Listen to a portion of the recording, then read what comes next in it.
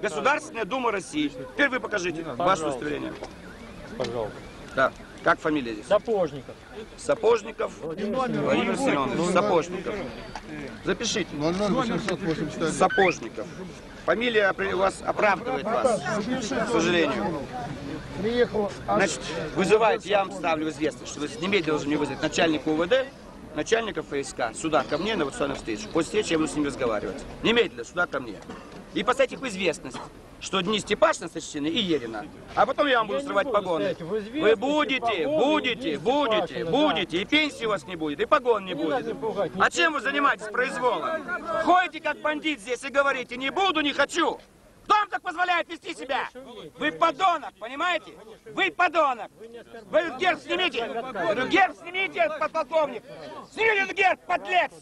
Нарушаете власть, нарушаете закон. Конституцию, негодяй такой. Подлец, бандит, убирайся отсюда. Пошел отсюда вон. Бандит такой. Это бандит, а не милиционер. Должен заниматься властью, а ты чем ходишь? Шатаешься. Тебе купили меня? Купили тебя? Подлец такой. Это называется власть Россия. Негодяй такой. Там еще один проходимец одел фураж. Вот и ходите, бандиты, купленные здесь. Видите, ваша власть какая?